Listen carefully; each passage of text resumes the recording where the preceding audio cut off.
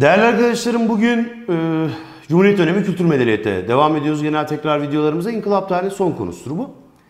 Bundan sonra ise biliyorsunuz Çağdaş Türk ve Dünya tarihin genel tekrar videolarıyla karşınızda olacağız. Bazen şu mesajlar alıyor hocam geç yükleniyor diye. Arkadaşlar sadece bizlerin videoları yüklenmiyor. Bunlar sırayla gidiyor.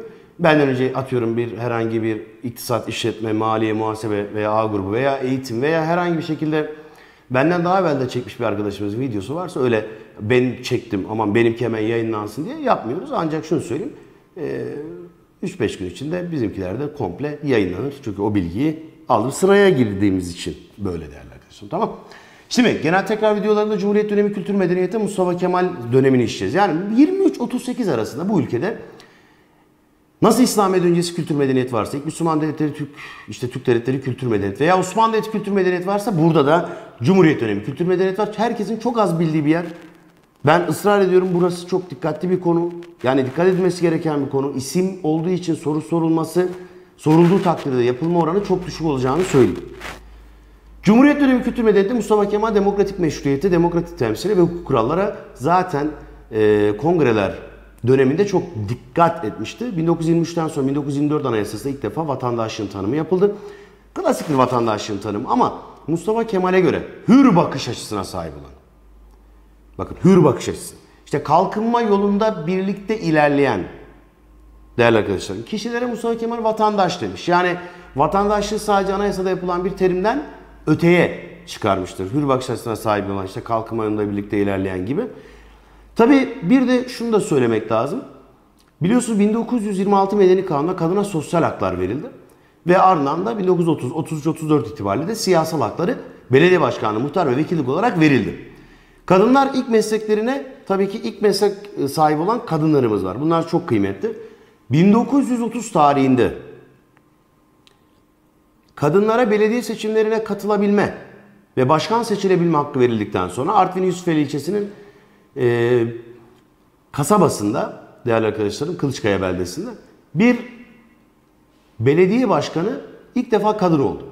Türkiye'nin ilk kadın belediye başkanı Sadiye Hanım'dır. Bakın lütfen bunu bilelim. İlk kadın belediye başkanı hatta bunu da kırmızıyla yazalım. Bunu da lütfen bilelim yani. İlla sınavda çıkacak diye öğrenmeyelim. Sadiye Hanım. 1950'de ise Demokrat Parti zamanında ne olmuştur? İleride biliyorsunuz ki e, Mersin'den de bir başka kadın belediye başkanımız seçilecek. Evet ilk kadın muhtarımız Gül Esin. Aydın Çin ilçesi Karpuzlu köyü muhtarıdır. Gül Esin. Hatırla ilk köylü mebus kadın kimdi? Satı kadın. Görüyor musun Etra Bey? Öğrenmiş satı kadını. Evet şimdi arkadaşlarım burada üç tane Sabiha başlayan neler vardır? Kadınlarımız var. Şimdi bunları nasıl ayırt edeceğiz? Hocam sınava girdim ben 3 tane Sabiha'da işte birisinde A şıkkı, birinde C, birinde E şıkkı varsa ben ne yapacağım? Şimdi bunları bir öğrenelim. İlk kadın mühendisimiz Sabiha Rıfat. Tamam. İlk kadın inşaat mühendisimiz Sabiha Güreyman. Tamam. Güreyman. İlk savaş pilotumuz ise Sabiha Gökçen. Arkadaşlar bir kere biz neyi biliyoruz? Kesinlikle bu kadını biliyoruz. Değil Bilmeyen var mı aramızda? Sabiha Gökçen. Herkes bilir. İlk savaş, kadın savaş pilotu dünyada kimdir? Sabiha Gökçen'dir. Zaten nereden? Bakın soy isminde Gök kelimesi zaten var. Bir pilotlukla ilgili oldu. Ta oradan belli. Şunu ikisini ayırt etmeniz lazım sınavda. Size kadın, ilk kadın inşaat mühendisi mi diyorlar? Yoksa ilk kadın mühendis mi diyorlar? Ayırt etmenin çok kolay yolu var. Etrafa bak buraya. Men İngilizce ne demek? Erkek demek. Doğru mu? Ee, erkek nerede çalışır? Bitti. O zaman ilk inşaat mühendisi kim? Soyadını baktım buldum. İsimle benim ilgim yok. Mantıklı. Öyle her şey ezberlenerek bulunmaz. Tamam. İlk tiyatrocu. Bir tiyatro sahnesinde ilk defa bir Müslüman kadın rol almıştır. Afife Jale. Tamam. Afife Jale. Gelelim. İlk kadını doğum uzmanına. Sakın sorulmaz zannetme. Bakın bizim en büyük sıkıntımız kendi kendimize soru profesörü oluyorsunuz. Yani aman hocam sorulur mu ya ilk kadın doğum uzmanı bize ne deme. Demek ki önemli görmüş ki Devlet Milli Eğitim Bakanı ders kitabında buna yer vermiş. Bak buraya ilk kadın doğum uzmanı Pakize İzzet Tarzi. Tamam. Kurban olayım hocam ben nereden bulacağım? Çok basit. Bak buraya. Kaç kelimeden oluşuyor? 1, 2, 3. Kadın kaç kelimeden oluşuyor isim soy isim? 3. Bak buradan bulabilirim. Doğru mu? Onu bırak. Tarzıyı ne yap? Ne yaptık? Terzi yaptık. Doğru mu? Peki terzi, doğum, dikiş. Tamam. Etrafı. Oldu mu? Ha, bu kadar yani ezberlemeye lüzum yok yani. Terzi yaptık. Bak bir kadın bir erkek doğutturmuş. Gördün mü? Birisi Pakize, biri İzzet. Evet. ilk kadın başbakanımız hepimizin bildiği 90'lı doğumlar belki daha sonra unutmuş olabilir. Tansu Çiller. İlk kadın doktorumuz 1920'de tıp eğitimini tamamlayarak kadınlık doktor olarak kadın e, kadın olarak doktor mesleğine başlayan Safiye Ali'dir dersen. Bunlar önemli gördüklerim. Peki neleri sordu devlet şu ana kadar? Bak bunu sordu. Savaş pilotu şu ana kadar sorularda geldi. İlk tiyatrocu geldi. Farklı sınavlarda ilk kadın muhtar geldi. Diğerleri gelmedi değerli arkadaşlar. Demek ki gene soru sorulursa yine bu üçünün üzerinden veya hiç sorulmadık diğerlerinin üzerinden gelebilir. Anlaştık? Kadınlar ve meslekler bunlar. Ezbere lüzum yok. Mantığınızı çalıştıracaksınız. Geldim buraya. Hukuk. Zaten bunu daha evvelden de inkılap kısmından anlattım. Kısaca değineyim. 1921 Anayasası vardı. Yumuşak ve layık olan bir anayasa değildi. Savaş şartlarında hazırlandığı için de e, özellikle kişi hak ve özgürlüklerine yer vermeyen bir anayasaydı. 1924'te 23'te Cumhuriyeti ilan ettikten sonra 1924'te tekrar bir anayasa yaptık. Başlarda layık değildir ama 1928 tarihinde devletin dini İslam'dır ifadesinin çıkarılmasıyla anayasa layıkleşmiştir. 1961'e kadar da yürürlükte kalıp kişi hak ve ödevleri güvence altına alınmıştır. Gelelim sosyal hayata. Savaştan çıkmış bir milletin sosyal hayatı nasıl olabilir? Sosyal hayatın olabilmesi amacıyla da günümüzde kullandığımız teknolojinin de o zamanlar olmamasıyla telefon, internet gibi, televizyon gibi o zamanki sosyal hayatları genelde insanların şenlik, sünnet, düğün, nişan, kına, cenaze, e, panayır şeklindedir. E, veya kermes dediğimiz şekildedir. Şimdi o zaman sosyal hayatta bizler çok büyük bir şeyler algılayamıyorum. Herkesin bir savaşta acısı var. Kimi annesini kaybetmiş, kimi babasını kaybetmiş, kimi çok fazla kişi yetim kalmış mesela. Zaten bu yetimler için ne açıldı? Ta Osmanlı zamanında özellikle Doğu Anadolu'da Kazım Karabekir'in açmış olduğu Darül Eytamlar var. Yetim çocuklarının eğitim görmesi için oluşturulan yerler. Peki sosyal hayatta özellikle kadın nüfusu erkek nüfusunu geçmiştir etrafı. Niye? Savaştan çıktık erkeklerimizin çoğu şehit oldu. O yüzden kadın nüfusu erkek nüfusunu geç. E hocam nereden anlıyoruz? Bakışta anlıyor muyuz? Hayır tabii ki. Onun için de ne yapılması lazım ülke genelinde? Bir nüfus sayımı. 1927 yılında Türkiye Cumhuriyeti ilk defa nüfus sayımı yapıyor. Ve kadın nüfusu erkek nüfusundan daha fazla. Toplamda da 13 milyon 13 milyon küsurat çıkıyoruz. Yani 1927'de Türkiye'nin nüfusu 13 milyon civarında. Şu an 81 milyon civarındayız derse. Demek ki nüfus bayağı bir bizde artış göstermiş. Peki şöyle örnek vereyim. Bu artış nasıl olur? Yani şimdi nüfus illa üreme yoluyla mı olur? Mantıklı mı sizce? Sadece üreme yoluyla olabilir mi? Bir yerden göç gelirse nüfus artar mı? Artar. Doğal afetler nüfusu azaltabilir mi? Azaltır. O zaman Mustafa Kemal ne yaptı? Özellikle Batı Trakya'da kalan Müslümanlara çağrı yaptı. Vize muafiyetiniz yok, istediğiniz zaman geri gelebilirsiniz diye. Ve Batı Trakya'dan muhacir dediğimiz 300 bin kişi göç etti.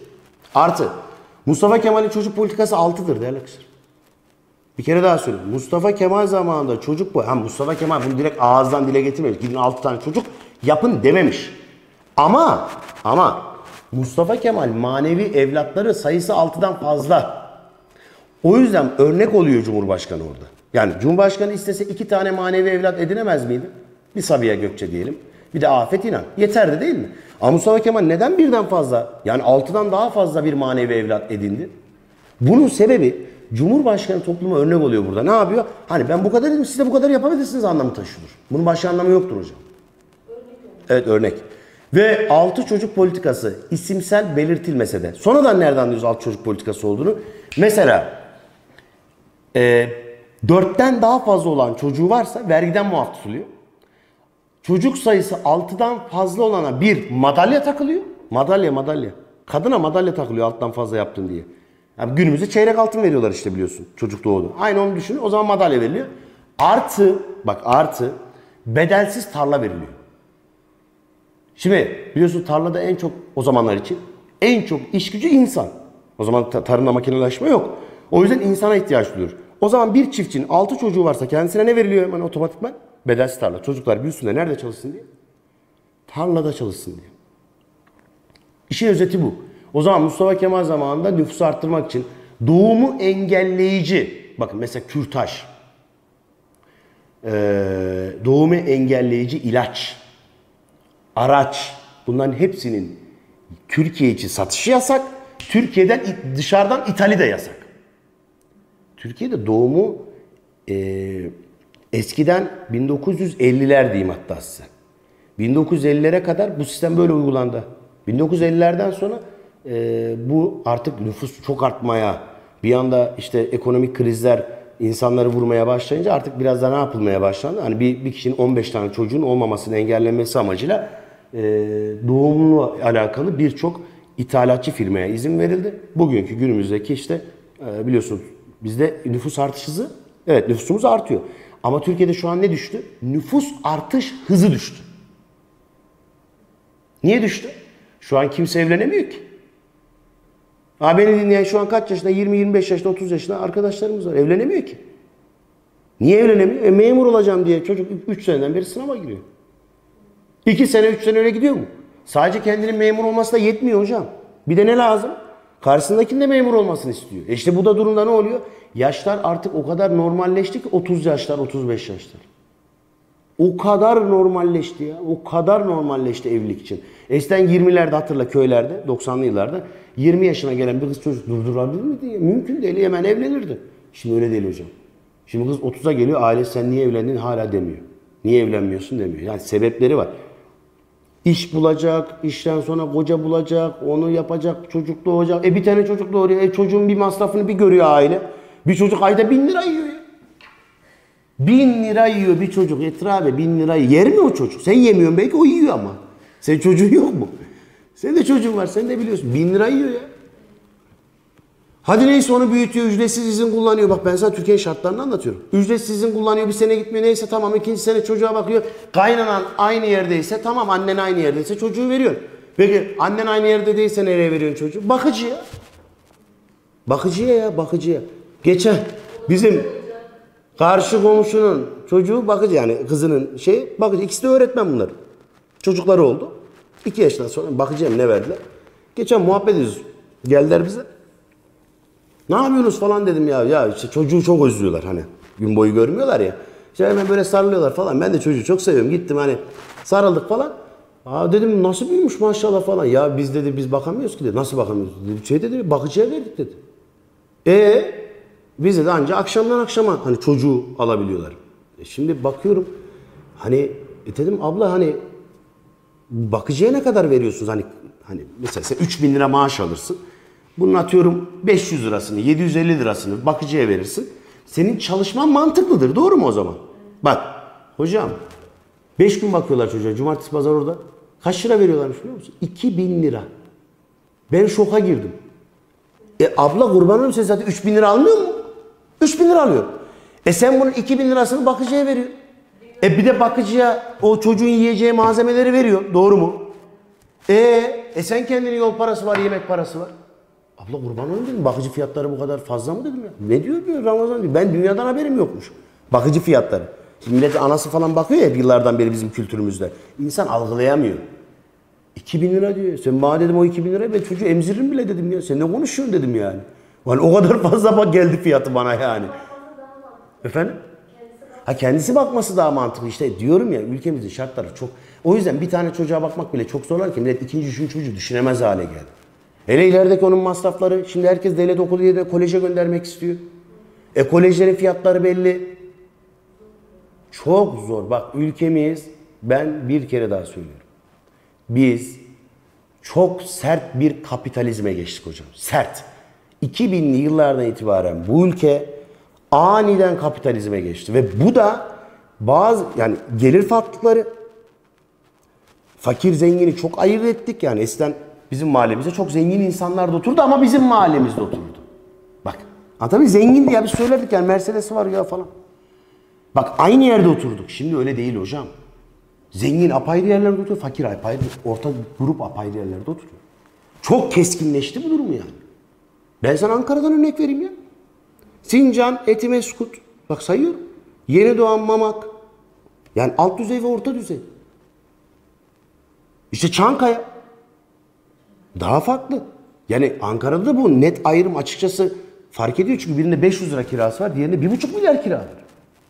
E şimdi insan ister istemez herkes çocuğunu iyi yerde büyütmek istiyor. Herkes. Herkes iyi okula göndermek istiyor. Ve o harcanan paralar. Şimdi bazen KPSS öğrencileri diyor ki bana hocam vallahi ben babamdan para alamıyorum. İşte şey yapamıyorum. E niye? E çünkü babam belki yıllar boyu o kadar zor şartlar altında seni okuttu. Sen de ister istemez artık bir memur olayım. Bu hakkımı ödeyeyim istiyorsun. Ben seni gayet iyi anlıyorum. Ama bu düşünülerek yapılacak bir şey değil. İcraata geçmen lazım. Bizim öğrenci ancak düşünüyor. Düşünüyor öğrenci. Bizim öğrencinin bu düşünme huyu beni öldürecek artık. Yahu düşünme düşünme. Beni düşün. Git aç defterini başla bir yerden. Bizim öğrenci düşünüyor. Üzülüyorum. Bak ben niye videolarda bu kadar veryansın ediyorum. Şimdi sen bak sen diyorsun ki hocam açtık bak bir 20 dakikamız bir 10 dakikamız daha gidiyor diye. Türkiye'nin gerçeklerini söylüyorum. İleride 2023 tarihinde 1 milyon dışarıda öğretmen olacak. Kimse farkında değil. 2023'te hepinize bak Allah nasip ederse tekrar görüşürüz ama video çekmeyi düşünmüyorum. 2023 tarihinde 1 milyon dışarıda öğretmen, 1 milyon İktisadi İdari Bilimler Fakültesi öğrencisi, 5 milyon orta öğretim, yaklaşık olarak da 4, 4 milyon değil de 3 milyona yakın ön lisans planlanıyor. Bu ne demek sizin haberiniz var mı ya? Herkes aklını başına alsın. Herkes atanmak istiyorsan en güzel gün bugün. Yarın daha kötü çünkü. 100 bin tane eğitim fakültesi mezunu geliyor her sene. Fen Edebiyat'la beraber formasyon ve öğretmenliğe. Açık öğretimden iktisat işletme maliye muhasebe bitiriliyor. Zaten bazı bölümlerin AOF'de branşları var. Ya şu AOF saçmalığından derhal kurtulmalıyız ya. Ya böyle bir sistem olabilir mi ya? AOF ile benim diplomam nasıl eşit olur ya? Şimdi bazı arkadaşlar bana kızabilir kusura bakmasın ama açık öğretim fakültesinden alınan diplomanın denkliği ile normal örgün eğitimde giderek alarak aldığınız diploma aynı olamaz. Dünyanın hiçbir yerinde böyle bir uygulama yok. Sen oradan diploma aldın eşit budur. Yani yanlış anlaşılması eşitlik. Tabii ki hepimiz eşitlik istiyoruz ama bu eşitlik değil. Birileri hem çalışırken aynı anda açık öğretim fakültesi okuyabilirken birileri kendi ilini değiştirip zor şartlar altında diplomaya kazanıyorlar. Aynı sınava giriyorlar. Hangisi önde bitirirse. Bu adalet değil. Bak eşitlik her zaman adalet demek değil. Adalet farklı bir şey. Açık öğretim okuyan arkadaşlar lütfen yanlış anlamayın bu sözümü. Ama siz de örgün eğitimde bir 4 sene bir yerde 5 sene bir yerde kalın. O kadar paranız gitsin. Aileler çok zor durumda sizler okusun. İnanın benim ne demek istediğimi anlayacaksınız. AOF kapatılmalı. Bak tarih. Zibil gibi tarihçi var ya. Edebiyat. Zibil gibi edebiyatçı var arkadaşlar. Kapanmalı. Mevcuda eri demiyoruz ki üstüne üstüne geliyor bir de. 1 milyon öğretmen olacak herkes aklını başına alsın. Acil diyorum bak acil. O sene bu sene diyeceksin kendine. O sene bu sene deyip çalışacaksın. İki ay kaldı hocam. Yahu çalış. Belki kazanamazsın ama altyapın olur bu sene kazanırsın. O yüzden herkes aklını başına alsın. Bak ben memur değilim. Ama memur yaptırıyoruz milleti. Memur olmasına vesile oluyoruz. Neler çektiğinizi bir, bir, bir, bir Allah bilir bir aileniz bilir. Bir de siz bilirsiniz. Ben üzülüyorum. Üzüldüğümde kalmayayım. Bak bu imkanları sağlamaya çalışıyoruz. Çok zor şartlar altındayız arkadaşlar. Birçok iftira var, birçok bilmem ne var. Bak bunlarla mücadele ediyoruz. Bak kolay değil. İnsanlar burada sadece bizim video çektiğimizi zannediyorlar. Öyle değil. Gerçekten söylüyorum hiç kolay değil. Video çekmek, ders anlatmak bu işin en kolay kısmı. Dışarıyla uğraşıyoruz ya. Sizlerin haklarını savunacağız diye. E ama sizler de bizlere her zaman destek olun. Bundan sonra destek olmaya devam edin. Sizlerden en büyük ricam en kısa zamanda atanın gidin. İleride 3 sene sonra ne diyeceksiniz biliyor musun? Eğer şu anki şartlar olsaydı ben kesin atanamazdım diyeceksiniz. 3 sene sonra. Bak bunu söylüyorum. 3 sene sonra diyecek ki iyi ki zamanında girmişim diyeceksiniz. Tamam. Zamanında o şartlar düzelir. Mülakat kalkar, sözleşmeyle düzenlemede olur. Merak etme. Sen hele bir gir. Bir gir şu devlete. Kendini bir garantiye al. Her şey devlet değil ama şu anki ülkemizdeki bu ekonomik veriler e, her şeyi devlet yapıyor işte. Her şey devlet oluyor. Özel sektörün hiç bak. Benim garantim var mı Yeter abi Allah'ını seversen. Ses iki kere ameliyat oldu. Benim garantim olabilir mi? Bazen ben bile düşünüyorum ya keşke niye devlet memuru oldum. Yat. Yani yat derken. Yani ayın 15'te param var. Paranın limitini biliyorsun. Ona göre şey yapıyorsun. Biz çalışarak para kazanıyoruz hocam. 24 saatimizi 20 saat çalışıyoruz. Ve bu hastalıklar zaten bu bedende niye var? Bu çalışmanın yoğunluğundan var. Rica ediyorum. Herkes aklını başına alsın. Çalışsın. Yoksa bunlar bu işin en kolay kısmı bu. Buradaki her öğretmen çatır çatır ders anlatıyor. Sıkıntı bu değil. Sıkıntı sen ders çalışmıyorsun. Sıkıntı o. Oturacaksın çalışacaksın kardeşim. Bahane üretme yok. İlimde dershane yok. Ya elinde dershane yok. Ha benim hocam var işte. Bunun bahanesi olabilir mi artık ya? Bitti o iş yani. O işte diyor dinliyor. Çok kişi memur oldu. Allah razı olsun. Binlerce mesaj alıyorum ama e, ben bu ısrarla çok düşünen arkadaşlarıma ben tavım ya. Oturuyor. Bak böyle. Masayı kuruyor. Tam ders çalışacak düşünüyor. Şimdi diyor ben edebiyatçıyım diyor. Hmm, ne yapmam lazım diyor. 85 almam lazım. Zor mu? Evet zor diyor. Matematik yapmam lazım? Evet biraz yapmam lazım diyor. Hadi diyor kazandım diyor. Şimdi mülakata gitsem beni kesin elerler diyor. Bak düşünceye bak. Bak şimdi ben düşünceyi anlatayım. Öğrenci masayı donatıyor defteriyle, kitabıyla, her şeyle çok güzel. Başlıyor düşünmeye. Kendini gidiyor mülakata. Mülakattan kendini elektirip geri getiriyor. La oğlum hangi kafadasınız la siz? Kendi kendini mülakatta elekttiren bir tek bizim öğrenci vardır şu dünyada ya. Böyle bir şey olur mu ya? Masaya oturacak. Mülakatta elektiriyor kendini tekrar masaya getiriyor. Arkadaşım olumlu düşün, olumlu. Olumlu olmazsan olmaz. Olumlu düşünmemiz lazım. Güzel düşün ki güzel şeyler olsun. Olumsuzluğu bırakın. Bakın değerli arkadaşlar ben evet iyiyimdir hocam ama sert öğretmenimdir ben. Ben bak beni bilen bilir. Ben öğrenci ders çalışmaz ama üzülüyorum. Anasına babasına üzülüyorum ya. Ne zor şartlar altında dershaneye gönderenler var. Gönderemeyenler var. Dershanesi olmayan iller var. ilçeler var. Sivas Zara'da, Divriğinde, orada burada, Erzincan ilçelerinde, Mardin ilçelerinde, Hakkari ilçelerinde her yerde dershane var zannediyorsunuz sizi. Elinizdekinin kıymetini iyi bilin. Bak o elinizdekiler kayıp gider bir gün. Rica ediyorum. Çok mesaj geliyor. Hocam ders çalışamıyorum, çalışamıyorum. Lan niye çalışamıyorsun ya? Ya sana engel ne engel? Senin engelin senin nefsin. Senin engelin senin kötü düşüncen. Düşünmeyeceksin arkadaş. Oturacaksın çalışmayı. Metodu öğreneceksin. Senin sıkıntın çalışma. Bir ders nasıl çalışılır onu bilmiyorsunuz ya. Vallahi bununla ilgili video çektireceğim ya. Bir ders nasıl çalışılır? Her ders aynı çalışılmaz. Bir sözel derste bir sayısal ders aynı olabilir mi ya? E şimdi arkadaşlar bakın 25 yaşlara geldik. 15 yaşındaki çocuğun sorularını soruyorsunuz bana. Bak 25 yaşındaki bir öğrencinin 40 yaşındaki adamın sorusunu sormasını beklerken 10 yaşındaki çocuğun sorusunu soruyorsunuz bana. Olmaz. Ben nasıl ders çalışacağım? Günde kaç soru çözeyim? Kim çıkarttı bu günde kaç soru çözeyim ya? Ya dünyanın hiçbir eğitim sisteminde şu kadar soru çöz demez öğretmen ya. Nereden geliyoruz arkadaşlar? Biz nereye gidiyoruz? Öğrenciler. Bana şu soruyu sormayın kardeşim. Ben kaç soru çözeceğim? Böyle bir şey yok. Dünyanın hiçbir ileri eğitim sisteminde yok. Sen sıkılana kadar çözeceksin. Bu 50 olur. Bu 100 olur. Sen bana bu soruyu niye soruyorsun ya? Ben sana 90 desem. Ya Allah'ın kurban olduklarım bu Allah'ın zikir sayıları mı ya? 99, 66, 76 böyle mi diyeyim ben size ya? Ya otur sıkılana kadar çöz. Sıkıldın mı ara ver bir daha çöz. Ben senin elindeki kitabı bile bilmiyorum yani. Evinde senin 3 tane mi soru bankan var? Bir tane mi soru bankan var? Ben ne bileyim? Lütfen rica ediyorum. 10 yaşındaki çocuğun soruları gibi sorular sormayınız. Cevap alamazsınız. Cevap alamazsınız. Ya yoruldum bırak git biraz eğlen gel tekrar geri başla ya. Bir şey mi yapacağım maç mı izleyeceğim? Dünya Kupası başlıyor. En büyük tehlike bu. Bak ben sana. Erkeklerin şu an en büyük tehlikesi Dünya Kupası. İster inan etrabe bana ister inanma. Bu ülkede fanatizm %75'in üstünde. Fanatizm %75'in üstünde. Ne demek biliyor musun?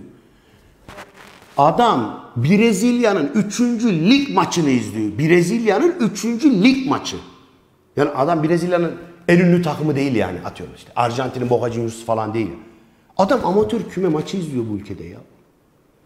Ve, ve, ve binlerce de erkek öğrencimiz böyle bizim. Dünya Kupası başlıyor beyler aman. Bak uyarımı yapıyorum. Seyredeceğim mi? Kardeşim Kolombiya Peru maçını da seyretme ya. Git Brezilya Almanya'yı seyrediyorsan seyret de. Ne bileyim Gana fil dişi sahilini seyretme ya. Öğrenci her maçı seyretmek isteyecek. Bak bunları yaşayacaksın.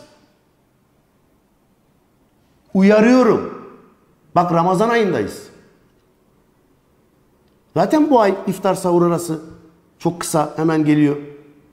Bir de üzerine Dünya Kupası erkekler gözünüzü seveyim bak. Lütfen günde 5 tane maç yayını verecek. Hepsini seyretme ya. Seyretmek mi istiyorsun? Ya kendince önemli tanesini mi? Ya önemli önemli. Önemli. San Marino Belarus maçını seyretme kardeşim sallıyorum ya. Anla yani benim ne demek istediğimi. Sana sorayım hocam. Etra abi. Fenerbahçe Galatasaray maçı var. Tamam. Atıyorum Akhisar Kas- Kasımpaşa maçı var. Normalde kimi izlersin? Fenerbahçe Gal- İşte bizim öğrenci hepsini izliyor. Hocam 180 dakika maç. Maçın önü maçın sonrası yorumu derken 3 saat gidiyor ya. 3 saat. 3 saat ne demek ya? Beyler bayanlar o 3 saat ne demek biliyor musunuz bu? Bugün bu ülkede çalışan herhangi bir arkadaşımızın, gece nöbet tutan hemşire bir arkadaşımızın o 3 saatini sen ona ver. Bak neler yapıyor. 3 saat yok bu ülkede bazı insanlar. Yapmayın gözünüzü seveyim. Şunlar bu işin en kolay kısmı. Tamam. Ben böyle konuşurum. Konuşmak zorundayım. Konuşmazsam olmuyor çünkü. Biz ben burada ders anlatayım gideyim mantığı bende hiçbir zaman olmadı ki. Ben bu projeyi başlatmamdaki amaç da bu değildi ki zaten. Ama öğrenci arkadaşlarımızın özellikle arkadan gelen öyle bir nesil var ki hiçbir şey bilmiyor ya. La hiçbir bir şey öğrenmiyoruz arkadaş ya. Hiçbir bir şey öğretilmiyor size. Biz ne yapacağız bu 2000 doğumlularla ileride? Çok zor vallahi işimiz ben size söyleyeyim hocam. Hocam her sene tarih öğretmek daha zorlaşıyor biliyor musun? Her sene. Benim 2010 yılındaki öğrencimle 2017 öğrencim bir değil kardeşim. 7 sene içinde bu ülkede neler değişmiş ya. 2010 senedeki girdiğim KPSS öğrencileri canavar gibiydi ya. Canavar canavar. Bir şey söyledim de tak diye alıyorlar diye. Ne oldu arkadaş bu 7 senede bu ülkeye ya? Bilinçsiz bir tarih eğitimi. Videolardan duymadığınız bir ton adamın akademik tartışmalarını dinleyip kafanızı karıştırıyorsunuz. Ya arkadaşım amaca hizmet edelim. Amaca. Senin amacın ne? Sınavı kazanmak. Memur olabilmek, iş kurabilmek, evlenebilmek, çoluk çocuk sahibi olmak, toplumda saygın bir yerin olmak. Sen bunun için çalışacaksın. Tamam. Hiç bilmiyorsan Recep İvedik'in nenesinin yazdığı üç tane şey vardı ya. Saygın olacağım, iş bulacağım. Var onu kendine edelim. Vallahi başka yok ya. Bunlar kolay şeyler. Örnek mimari. 20 liranın arkasını çevir. Mimar Kemalettin var. Niye var? Mimar Kemalettin'in de yanında bir tane resim var. 20 lira var mı? Bakalım. 20 liramız var. Bak kardeşim 20 liranın arkasına. Görüyor musun? Bir tane bina var. Bu bina ne? Bir tane de adam var. Şimdi dünya para sistemleri de böyle yapılmaz. Burası flu yapılır. Yaptığı eser ön plana çıkar. Bizim tam tersi yapmışlar. Adamı daha fazla öne çıkarmışlar. Mimar Kemalettin Gazi Eğitim Enstitüsü'nü yapıyor. Gazi Üniversitesi rektörlük binası şu an kullanılıyor. Mimar Kemalettin de elbet bir gün denk gelir sorulur. Kemalettin Bey diye sorulur. Gazi Üniversitesi rektörlüğü veya Gazi Eğitim Enstitüsü binası. 1926'da tamamladı. Zaten 1927 senesinde de bitti. Kendisi vefat etti. Bitti derken. Evet. Daha çok mimarlar da vardır. Vedat Tekler var. Başkaları da var. Özellikle mimari açıdan en önemlisi Profesör Doktor Emin Ali Tonat ile Doçent Doktor Orhan Adan'ın ortaklaşa yapmış olduğu Anıtkabir projesi önemlidir mimarinin içinde. Resimde Deksa resimde İbrahim Çallı bu dönemde bayağı öne çıkan Ruhi Arel, Cemal Tollu gibi adamlar var ama İbrahim Çallı daha önemli. Özellikle yapmış olduğu Zeybekler tablosunu götürdü. Mustafa Kemal e, eseri çok beğendi ama atların çok şişman olduğunu gördü. Dedi İbrahim bunu yaparsak, bunu böyle koyarsak, yani atları şişman çizmişsin. E, millet Kurtuluş Savaşı'nı ileride çok zor şartlar altında değil der. Bak şimdi ben, ben hayatta böyle bir şey düşünmemiştim. Mustafa Kemal ile milletin arasındaki en büyük farklardan bir tanesi de bu işte. Hocam bir tane resim var. Kurtuluş Savaşı'nı, fakirliği, yoksulluğu temsil ediyor. Ama İbrahim Çallı atı böyle semirmiş çizmiş. Yani büyük çizmiş. Böyle güçlü kuvvetli çizmiş tamam mı? Mustafa Kemal de diyor ki ileride diyor bu resme bakan çocuklar ulan tarih kitaplarında çok zor şartlar altında diyor bu mücadele verildi yazıyorsunuz. Ulan baklar, baksana insanlara, atlara. Hepsi şişman insanlar. Diyor. Bunun üzerine İbrahim Çağrı resmi geri değiştirdi. Atları cılız yaptı bu sefer. Ve benim anlattığım bu olayın aynısını bu kim 500 milyon ister falan 1 trilyon ister diye programlar var ya yarışma programı. Aynı anlattığım üslupla sordular. Ama benim öğrenci tak diye İbrahim Çaldım. İşte benim istediğim öğrenci tipi bu. Soruyu okudun, seçeneğe bakmadan insanın yani insan o sorudaki ne isteniyorsa onun senin aklına gelip seçenekte aramadan sadece seçeneği bulup işaretlemen. İşte bu böylelikle hız kazanacağız. Tamam? Mimari bu, resimde bu. Heykel. Cumhuriyet dönemi heykele bakıldığı zaman bir heykeltıraş var. Daha sonra biliyorsunuz Atatürk'ün ilk heykeli Sarayburnu'nda açıldı. Biliyorsunuz Osmanlı'da heykel çalışması çok yok. Heykelini yaptıran tek Osmanlı padişahı Sultan Abdülaziz'dir. Ee, Mustafa Kemal zamanında da Türk heykeltıraş olmayınca eğitim görmeleri için Paris'e gönderilecek ileride. Ama e, heykel yapılması için de veya işte Kurtuluş Savaşı'nı konu edinen heykellerin yapımı için de bir adam getiriyoruz. Avusturyalı bir heykeltıraş. İsmi Henry Kirpel. Bak şimdi tahtaya. Adamın ismini bir daha yazalım. Henrich neymiş? Kirpel. E kurban olayım hocam ben bu adamın ismini nasıl anlatayım ya ezber yok bak buraya. Bu adam biz ne dedik? Etrabe. Heykel demedik mi? Bak bakayım neyle başlıyor? He. Doğru mu? Bulurum. Bulurum. İki. Bak şuraya. Heykelin sonu neyle bitiyor? El. Bak adamın soyadını. El. Bitti. Ezbere lüzum yok. Henry Kiripel. Tamam. Daha sonra bazı mesela Samsun Atatürk anıtı, işte Zafer anıtı. Yine onda e, şeyde Ulus'ta bulunan Atatürk anıtlarını bu adam yaptı. Henry Kirpel çok önemli sanatçıdır. O zaman dünyada en iyi sanatçılardan biri kabul ediliyor. Evet. Ordu. Şimdi hepinize soru soralım. 200 seneden beri savaşan bir ordu elbet ki yıprandı. Yani savaşta herhangi bir şekilde yara almasa bile savaş ortamını gören bir askerle sivildeki bir insan aynı olamaz. Bugün asker psikolojisini anlamak lazım. Bugün dağlarda gezen insanla, dağlarda piknik yapmaya çıkan insan aynı insan değildir. Aynı insan da olamaz. Mümkün değildir. Tamam İnsanların psikolojileri savaş ortamını gördükten sonra değişir. Zaten psikoloji bilimi neden, neden sonra önem kazandı işte? Bir Dünya Savaşı'ndan sonra önem kazandı. Çünkü insanların psikolojileri bozuldu. Ölü görüyorsun, kan görüyorsun, dehşet görüyorsun, yıkım görüyorsun. Mustafa Kemal ne dedi? Orduyu gençleştirelim. Ve bunun üzerine iki tane proje ona kuruldu. Biri Hazar projesi, biri Konuş projesi. Konuş, ordular belirleniyor çeşitli yerlere. Hazar, barış. Mesela yıllardan beri Suriye sınırına yığdığımız askerleri geri çekiyoruz ki hani karşı taraftaki devlete de güven veriyoruz hani. Sana bir operasyon düzenlemeyeceğiz. Bak geri çekiyoruz askerlerimizi dedik. Hazar ve Konuş projelerini Mustafa Kemal öne sürmüştür orduda. Müzik. Şimdi şöyle söyleyeyim. Bizim eskiden Osmanlı Devleti'nde Darül Bedai vardı. Darül Bedai daha sonra değerli arkadaşlarım biliyorsunuz ki tiyatroya dönüştürüldü ve Muhsin Ertuğrul getirildi. Müzikte de biliyorsunuz Darül Elhan yani sanat evi, sanat okulu anlamına gelen bir kelime. Darül Elhan'da biliyorsunuz ki konservatuvara dönüştürülmüştür Türkiye Cumhuriyeti'nde. Önce Milli Müzik Temsil Akademisi, şu anda da Ankara Devlet Konservatuvarı olmuştur. Müzikte çok önemli sanatçılar yetiştirdik. Bunlara biz e, özellikle Türk Beşleri ismini veriyoruz. Mesela Cemal Reşit Rey, Türkiye'de klasik batı müziğini Türkiye'ye getiren adamdır. 10. yıl marşının bestekarıdır Cemal, Cemal Reşit Rey.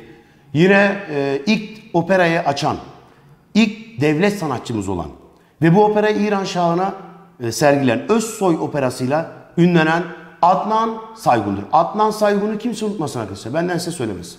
Adnan Saygun, Türkiye'nin ilk operacısı. Özsoy Operası adında bir opera yapıyor. Bunu da İran Şahı'na gösterisini yapıyor değerli arkadaşlar. Var Ulvi Cemal Erkin var, Necil Kazım Akses var. Bunlar da yine Türk Beşleri içinde yer alan kişilerdir. Bunlara bakmak lazım. Bestekarlık önemli. Ee, biliyorsunuz İstiklal Marşı'nın güftesi yani söz yazarı Mehmet Akif'tir ama bestesi 1930'a kadar Ali Rıfat ve 30'dan sonra ise Osman Zeki Üngör'dür. Evet, müzecilikte arkadaşlar birçok müze var ama burada e, en çok dikkat edilen 1935 senesinde Ayasofya'nın cami statüsünden çıkarılıp müze haline dönüştürmesi. Kanun yetkisi bizde olduğu için tekrardan müzeden ne yapabiliriz? Camiye tekrar çevirebiliriz ancak Ayasofya bunu kaldırmaz. Belki arkadaşlar bana kızacak ama Ee, Ayasofya yıllardan beri tadilatta değerli arkadaşlar. Tadilat, tadilatın uzun sürmesinin nedenleri var. Ben onu açıklamayayım da. Tadilat var. Ee, şöyle söyleyeyim. Ayasofya temsili olarak sadece cuma veya beş vakit namazı kaldıracak bir yer değil arkadaşlar. Maalesef. Onun çok güçlendirilmesi lazım. Çünkü çok bakın e, bir Sultanahmet gibi düşünemezsiniz. Daha evvelinden yapılmış bir yapı. Birçok deprem gördü, sel gördü, doğal afet gördü. E, Bunu ben söylemeye gerek yok. Sanat tarihçileri zaten yeteri kadar söylüyor. Ayasofya e, müzeden tekrar camiye dönüştürülebilir ama beş vakit uygun bir cami olduğunu ben kanaatimce söylüyorum değil. Yani oraya oraya kaldırmayabilir. O yüzden dikkatli olmak lazım. Ha cami olsun diyor musun? Kesinlikle. Tekrar çünkü ora Fatih Sultan Mehmet'in e, Fetih Camisi'dir. Fethettikten sonra oranın kiliseleri e, fethin geldiğine işarettir. E, tekrardan cami olmasını ben isterim ama e, büyük tepkilere de yolu da açabilir. Bilemiyoruz yani o gerçekten büyük bir siyasi irade lazım buna. Eğitim. Türkiye eğitimde 1924 tarihinde tevhid tesisat kanunu çıkardı. 1925'te ilk yüksek öğrenim kurumu olan Ankara Hukuk Mektebi'ni açtı. 1926'da orta öğretim ders müfredatlarının yenilme, yenilenmesi ve devletin izni olmadan okul açılamayacağı kararı olan Marif Teşkilatı hakkında kanun çıkarıldı. 1928'de Latin harflerine geçtik aynı yıl millet mekteplerine. 1932'de halk evlerine. 1933 senesinde ise Albert Malch denilen bir adamın yazmış olduğu rapor doğrusunda e, Darülfünun İstanbul Üniversitesi'ne dönüştürüldü. Yani burada üniversite reformu yapıldı. 1936 tarihinde ise köylere öğretmen yetiştirebilmek için eğitmen kursları açıldı. Burada şuna dikkat edelim.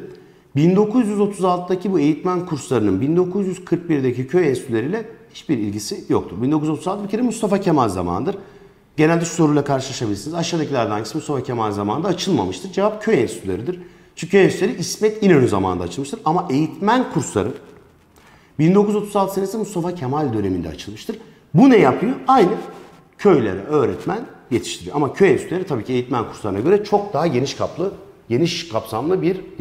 Gelelim edebiyata.